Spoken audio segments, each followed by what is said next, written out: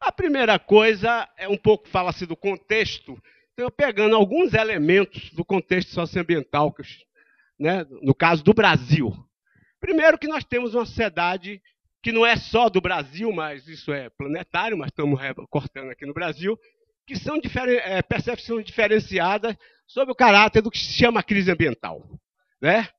Então, para algumas é meramente estrito senso uma crise ambiental, que bastaria tomar determinadas medidas mitigatórias, melhorar o desempenho do custo energético, tratar melhor o resíduo, criar unidade de conservação, enfim, um conjunto de medidas que, vamos dizer, minimizaria, amansaria o impacto desse modelo civilizatório de dominação da natureza.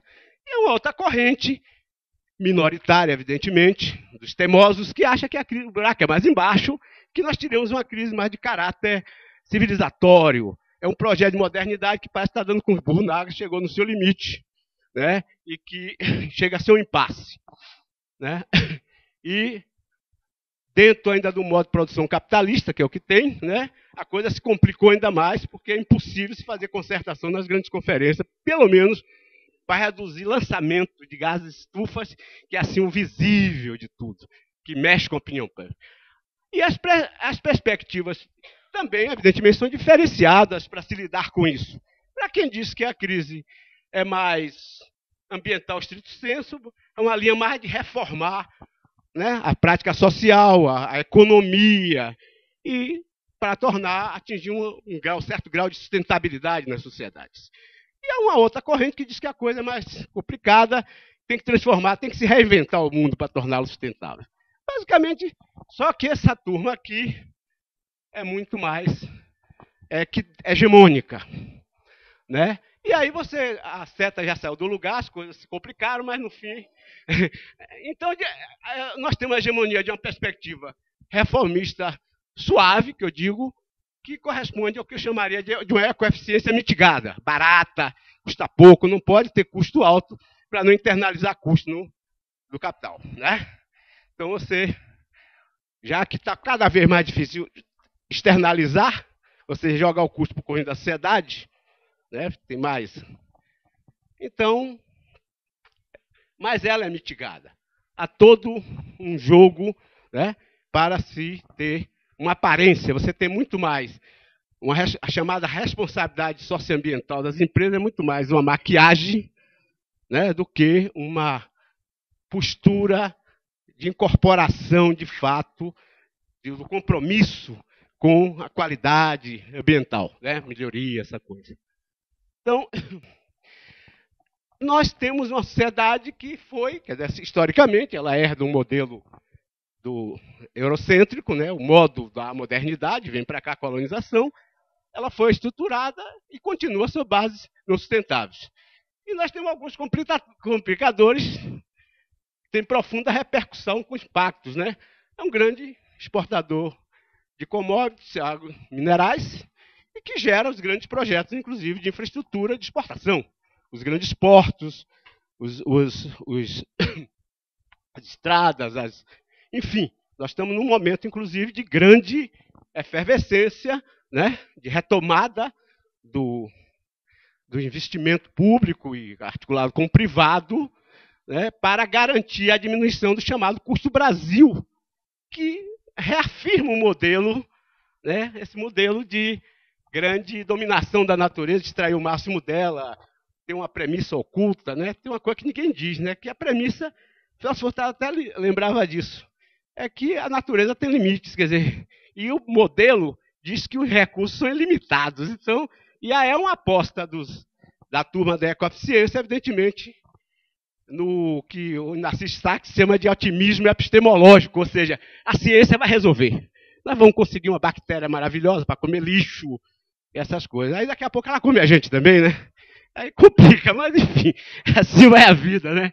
E aí nós temos ainda um problema que aí atinge a biodiversidade muito forte com o desmatamento, que é o latifúndio. Né? O latifúndio é a base produtiva do agronegócio brasileiro. E o latifúndio, ele não tem a preocupação de conservar solo. Ele quer desmatar, ele quer expandir a fronteira. Quer dizer, Quando eu trabalhei no Araguaia, a fronteira estava ali no paralelo 16. Hoje já está onde? Estava ali em Barra do Garça. No... Hoje está, já passou por Marabá, já, né? Você que está no MDA, né? Você, você não é da turma do agro, mas é, leva a cacetada dele. Cai no cipó, né? Porque ninguém. Então, como o latifúndio não há necessidade, o, o, o, chama, o empresário latifundiário, ele não tem preocupação com conservação de solo. Diferente, por exemplo, dos americanos, que já no fim do século XIX, eles já faziam conservação de solo, porque o latifúndio lá era muito menor. E eu não sei se vocês lembram, naquele embate, ainda na época da ministra Marina, com o arco do desmatamento, onde saiu um decreto proibindo é, o desmatamento. Quem não for parasse, tivesse regularizado, não recebia crédito agrícola, não teve isso. E, ao mesmo tempo, o governo, numa perspectiva de tentar criar um espaço de negociação, abriu uma linha de crédito do BNDES, com juros subsidiado, portanto, abaixo do índice de inflação, para a recuperação de área degradada no campo. Pastos. Não, ninguém se interessou. Porque é mais negócio o cara desmatar. Vende a madeira, vende a galhada e continua tocando o barco. E nós ainda temos um outro grande problema no, que para que é essa mistura do papel do Estado num país como o nosso, né? Uma, pela condição de ser um país que está tentando uma inserção tardia né, nesse, na, no chamado mercado internacional e menos subordinada, ele funciona como indutor empreendedor e também é regulador. Não, então você tem o Ministério do Meio Ambiente, tem o Ministério de Minas e Energia, né, que aí tem que lidar com. Tem o Ministério de Transporte. E é um jogo que, nessa, quer dizer, é muito difícil não ser assim. Mas, com o tempo que o país passou, essa é uma, quer dizer, é uma análise que, para nós da área ambiental, tem que ter muita clareza que é, é, um, é um embate de perspectiva de futuro, embate político, onde, de um lado, você tem essa síndrome aqui, que é muito forte na esquerda brasileira, né? e, e, e de certos setores, a maioria dos setores do capital hoje, que é o que eu digo, não, é assim, não deixa o cavalo passar, arriado, o cavalo arriado passar sem montar, porque essa é a nossa oportunidade histórica. Assim é pensado segmentos, inclusive da esquerda brasileira, tá no governo, e que se não fizer agora, não faz mais. Então, temos que tocar o pau, os licenciamentos têm que sair a qualquer custo, né? Tra Trata-se os licenciamentos ambientais como um ato meramente cartorial, então você precisaria de gente para bater carimbo com um tabelião. Né? E aí há uma, há uma disputa de concepção e de projeto e de visão de mundo. Aí vem o desenvolvimentismo, né? achando que isso aqui faz recuperar a dívida social. Né? Tem toda uma elaboração. Né? E é complicado, porque não é simples lidar com isso. Porque tem também tem, uma, tem sua verdade nisso aqui. Não, né? não é uma questão do, do, do sim ou não. Né? Essa, essa dicotomia não existe, a gente sabe que o mundo dicotômico ele não existe. Agora, como lidar com isso? Né? Por isso que ministro, é, do Meio Ambiente no Brasil tem prazo de validade, por conta do desgaste que vai travando né, com, no dia a dia. Né? Vai... Então, é, uma, é, um, é um contexto difícil de se discutir, e a educação trabalha com o quê? Com essas questões. Porque toda a disputa se dá na apropriação dos bens ambientais. É aí que está o, né, o, futuro, o modo de apropriar, como apropria, como usa, não usa, deixa de usar, né, quem usa, quando, quanto, é, é, é o que vai definir o que teremos daqui a pouco, mais gerações na frente. Né? Agora, do outro lado, também nós temos um, algumas coisas no contexto que nos ajuda.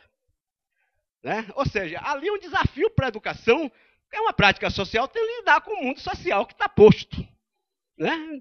Imagina a educação no Éden, devia ser um troço muito chato. não tinha contradição, não precisa se usar. Como é que fazia a praxe no, no Éden? Isso é muito difícil, né? Todo mundo, tudo resolvido, cara. E no último caso é só ir lá para quem manda e resolvia, né? Então, a primeira coisa é que nós temos um dado muito importante, que é o que as políticas nacionais de gestão ambiental e correlatas, chamo de correlatas, Estatuto da Cidade, Política Nacional de Recursos é, e, é, de Resíduos Sólidos, é, é, é, a Política Nacional da Pesca, que bota a educação ambiental como instrumento de ordenamento pesqueiro, né? o, o, o, o Estatuto da Cidade dá instrumentos né, de trabalho gestão em território, com plano diretor. Então, você estuda o, o Estatuto da Cidade, você vê uma riqueza. Então, nós temos aí um conjunto, a própria política da agricultura familiar. Quer dizer, você tem aí um conjunto de políticas que a gente tem uma aliança muito forte e que ela recepciona a nossa política nacional de educação ambiental. Um outro aspecto é que a gente, né, eu estava lembrando ali que tem uns 30 anos que saiu o projeto, foi formulado, o Feldman articulou e apresentou o, o, o projeto né, da, do que é a PNEA hoje, que passou por várias discussões e tal, até sair em 99. E nós estamos, hoje mesmo, foi colocado aqui um, o potencial está longe de esgotar. A própria resolução do Conselho Nacional, que nós tínhamos o que antes? Um pequeno, é uma, um parecer do Nisquier, não é isso? É do Nisquier, não é isso? Que falar da interdisciplinaridade do, do antigo Conselho Federal de Educação. Então, hoje ela entra numa discussão curricular. Né? Então, e também como o mundo no, é, é, é, é, da diversidade, há concepções e práticas variadas de educação ambiental, tanto situados no campo transformador, quanto é, é, como também no campo da, da reformista. Está lá embaixo aí, ficou mais. Né? Bom, eu acho que esse é o outro slide. Bom, aí eu, então você tem. Agora, evidentemente, como o próprio conselho agora é, reconhece, a educação é uma coisa intencional, bem ou mal intencionado, mas é intenção. E você não pode tocar uma política de governo, é política de Estado, mas que tem um momento de governo, que tem sua cara, que não põe a sua intencionalidade. Né? Se você tiver um governo de direita, ele vai ter que promover uma política de Estado, que é a PNEA, digamos assim, mas com o viés da ideologia da direita. Não podia ser diferente. Né? Mas se você tem um, um governo que se aproxima mais do emancipatório, do libertário, ele tem que ter sua cara. Né? Ele vai aparecer nas suas práticas, suas opções. E assim se dão as coisas. Então, eu tentei relacionar alguns desafios. Eu, numa visão mais geral e também eu fiz um exercício, mas que não vai dar tempo, mas vou deixar para o grupo, das algumas estratégias articuladas com isso aí. Que eu deixei como anexo a fala, mas vai ficar aí, se o, o grupo quiser, vai ficar disponível. Né? Eu acho que nós temos primeiro que ter uma, uma concepção, uma prática de educação ambiental que torne claro, desvela esse processo de relação sociedade e natureza que está posto. Né? Isso aí tem que ser entendido pelas pessoas, para não pensar que é um mundo do bem contra o mal. Entender por que, que o ruralista defende a supressão de APP em determinado. Porque tem uma razão. Né? Por que, que ele quer que o Estado o anistie? Né? Porque desde 93, eu me lembro, lembra? A gente comentava isso, né, Baldo? Em 93 era a lei agrícola, ainda no governo Tamar. Ali tinha um dispositivo na lei que dizia que eles tinham 30 anos para recompor as reservas legais, não é isso? E eu digo, quando chegar a faltar 29, era muito, eles vão de novo. Né? Então, é, é o jogo que a gente quer entender. Né?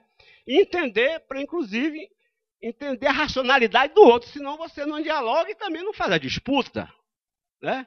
Porque, evidentemente, haverá posições que são posições de, claramente do, do interesse daquele grupo que tem um peso político. Né? Eu, eu, acho, por exemplo, que eu vi certas ONGs na disputa do Clóvis Florestal com uma, uma falta de uma despolitização no discurso que criou dificuldade de se articular com outros segmentos da sociedade. Né? Se trincheira numa linha muito conservacionista e não consegue fazer a disputa né, no debate dentro da racionalidade também com, do outro, disputando dentro também, entendendo para disputar, né? Então a gente tem que ter que ao mesmo tempo dê isso e promova o protagonismo, né? Uma construção de uma outra sociedade. Quer dizer, não adianta ter uma, uma educação ambiental com um compromisso meramente instrumental.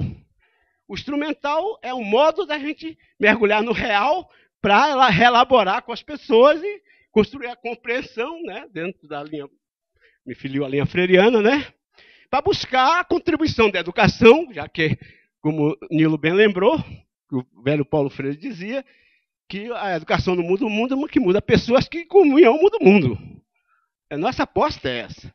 Então, a primeira coisa nós, é ter nós termos estratégia para chegar a isso, porque né, como chegar a isso? Ampliar essa, essa questão, e aí eu acho que a gente tem que ter algumas. Vamos lá.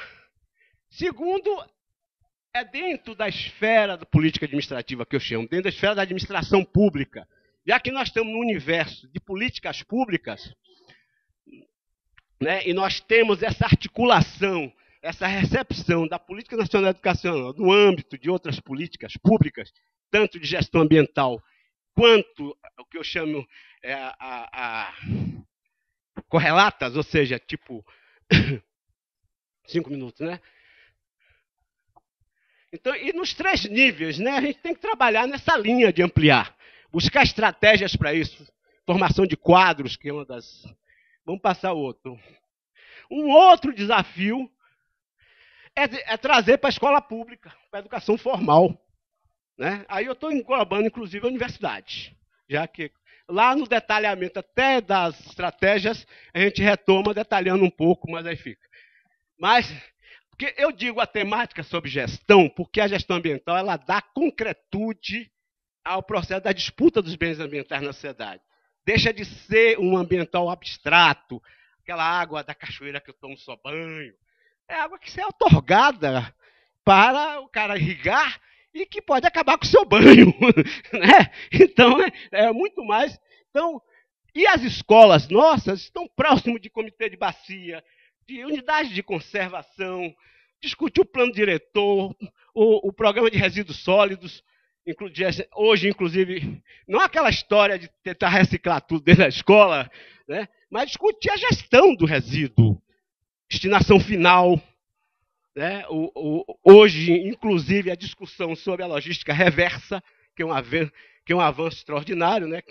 O produtor do resíduo não é, não é, o, não é nós que temos, pegamos lixo em casa, é quem já faz o, o lixo na produção. Né? Eu, outro, eu acho que uma outra coisa importante é a gente trabalhar também com gestores dos órgãos federais. Aí eu falo federal porque é, é o nível de articulação possível quem está nesse plano, você não vai chegar, né? Que as políticas públicas federais, elas se desdobram em estados e municípios. Então você tem, se você conseguir essa. É, é, e esses gestores, Petrobras, DINIT, né, Eletrobras, esse pessoal, eles operam com políticas públicas de grandes impactos. Mas se a gente, eu tive experiências com o pessoal da Petrobras.